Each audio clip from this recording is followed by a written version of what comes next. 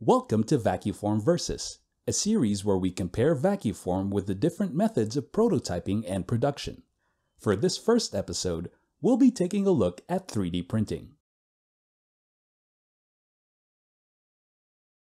3D printing is currently the tried and true method of rapid prototyping. It takes a digital 3D model and creates a physical copy using layers of melted plastic. In recent times, it has become more accessible to more people, from the price of printers to the availability of services. This is what we aim for with Vaquform, to make this method of production more accessible to everyone.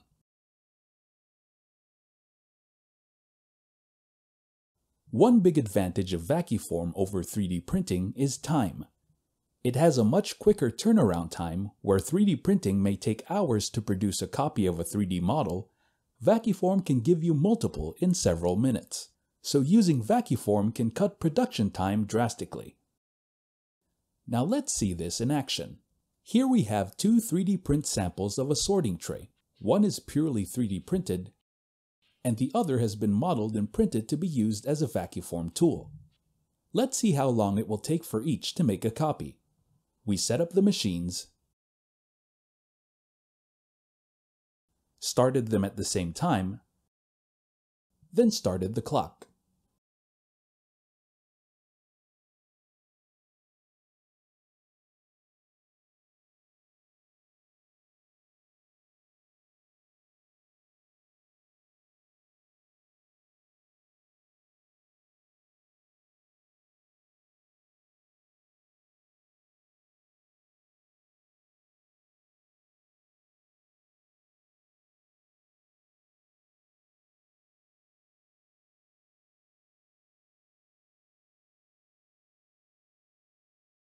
At the 56 minute mark, Vaquform was able to make 11 copies of the tool.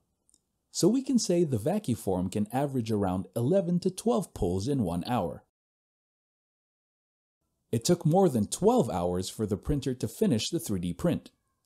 Within that time, you would have definitely been able to make even more than 11 pulls.